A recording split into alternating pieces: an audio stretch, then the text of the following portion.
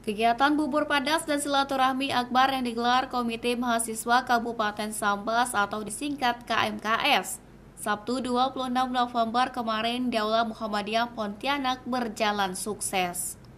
Kegiatan yang diikuti lebih dari 1000 mahasiswa Sambas yang ada di Pontianak ini dihadiri Sekda Sambas, Kepala Bakuda Sambas, Wakil Ketua DPRD Provinsi Kalbar, unsur pimpinan DPRD Sambas, serta organisasi Melayu di Kalimantan Barat.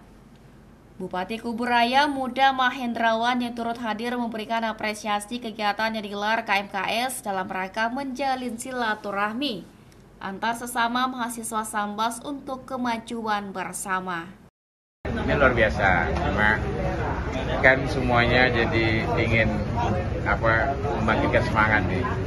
Nah, cuma memang saya bilang eh, kita menyatu secara fisik, tapi persepsi dan apa cara kita untuk lebih memperkuat ini itu yang lebih penting juga.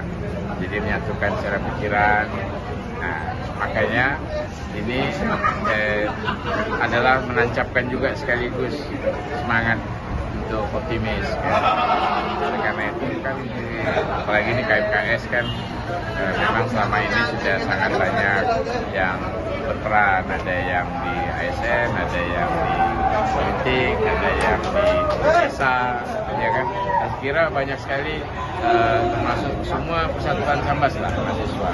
Jadi saya kira ini uh, potensi energi yang besar untuk bisa kampus masing-masing bagaimana mereka bisa berperan. Dan saya yakin bahwa uh, dengan hal ini ya tentu pemerintah daerah pun akan bisa melakukan upaya-upaya bisa uh, apa ya, memberikan ruang-ruang kepada anak-anak muda, mahasiswa-mahasiswi Tokoh Nasional Pemuda asal Sambas Herzaki Mahendra Putra mengaku bangga dengan kegiatan yang telah dilakukan KMKS.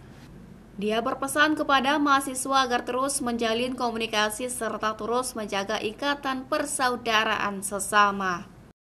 Kita anak Sambas, pihak Sambas di mana pun berada harus saling komunikasi. Saling komunikasi, saling dukung, saling bantu. Nah ini yang menjadi penting. Jangan kemudian maaf, harus saling menghormati juga satu sama lain. Ya, terus jaga ikatan persaudaraan ini. Kalau nanti tidak lagi menjadi mahasiswa, tetap harus jalin persaudaraan, jalin silaturahmi, dan bantulah adik-adik seperti abang-abangnya dulu membantu kalian. Pantauan di lapangan tampak mahasiswa antusias mengikuti setiap rangkaian yang digelar seperti tarian tanda sambas, silat, dan akustik, serta memperkenalkan makanan khas sambas di Kalimantan Barat. CSM TV madahkannya.